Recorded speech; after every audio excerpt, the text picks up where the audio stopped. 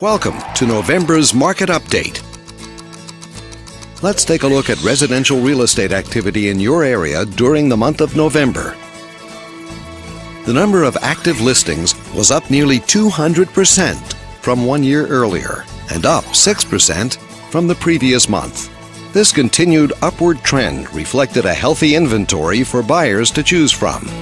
As you can see, the median listing price for the month was just under $400,000. Compared to last year, the average number of days that units spent on the market before being sold was down 96%. This lower number of days may signal a positive trend in the local inventory turnover rate.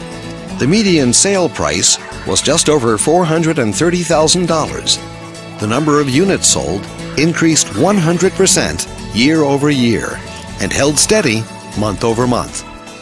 These figures may indicate that buyers have been taking advantage of competitive pricing and interest rates. Thanks for watching. We hope you use this information to make smart, informed decisions in your upcoming real estate transactions.